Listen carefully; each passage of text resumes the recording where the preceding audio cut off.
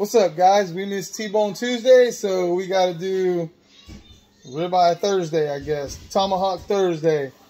Um, had to go to uh, Walmart, and I got Marco a tomahawk steak.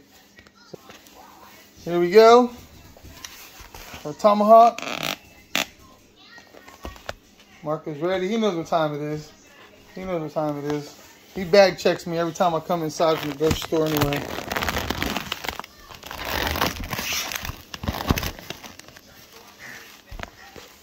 There you go.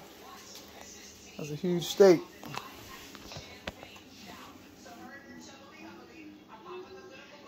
Eat.